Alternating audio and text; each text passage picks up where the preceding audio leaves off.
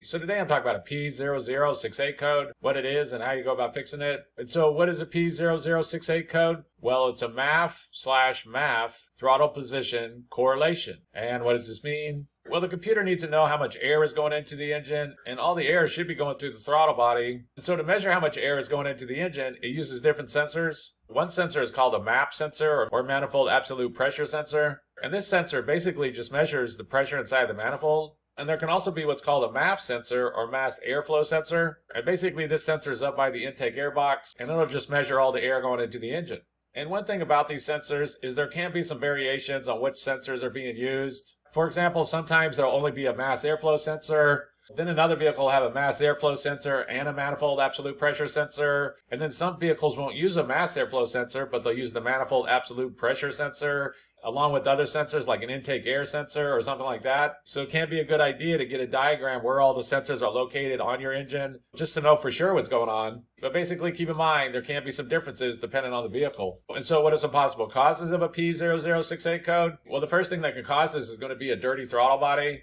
This is fairly common, especially as the vehicle ages. If you go look at the throttle body and you look down inside of there and that butterfly plate looks all dirty, it's got a lot of buildup on it and things like this, this can throw off those sensors and just cause issues. And so quite often just cleaning up the throttle body can help clear things up. If it does look really dirty, you can get some throttle body air intake cleaner and basically just clean it up real good. You can even use like a little toothbrush or something like that and a rag and wipe it out and be sure it's all clean. One thing to mention is that if you do clean it up with throttle body cleaner, when you first start up the vehicle, it's going to run bad for like one minute or so until all that cleaner gets burnt away. But after that, it should run better. But the first thing that could cause this is a dirty throttle body. And the next thing that could cause this is a bad manifold absolute pressure sensor. You have to get a diagram where it's located on your particular engine. But the next thing that could cause this is a manifold absolute pressure sensor. There's some different ways to go about testing that sensor. There's some good YouTube videos on that. Also keep in mind that if anything's wrong with the wiring going to any of these sensors, open, short, bad connection, is going to cause the same symptoms of that sensor. Another thing that could cause this is a bad intake air temperature sensor.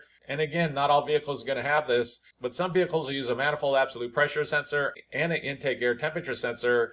And between these two sensors, the computer can calculate how much air is going into the engine. So be sure to look to see if you do have an intake air temperature sensor, since not all vehicles have one. But if you do, that's another thing that can cause this problem. The next thing on the list that could cause this problem is a bad mass airflow sensor. This sensor will be located up around the air intake box somewhere and it basically just measures all the airflow that's going into the engine. Quite often a mass airflow sensor just gets dirty and just needs to be cleaned up. Of course, they can also fail and go bad and just need to be replaced. I made a video on how you go about testing the MAF sensor. I'll put a link down below if you need it. But the next thing on the list is going to be a bad mass airflow sensor. And the next thing that could cause this is going to be that there's a vacuum leak going on somewhere or an intake air leak.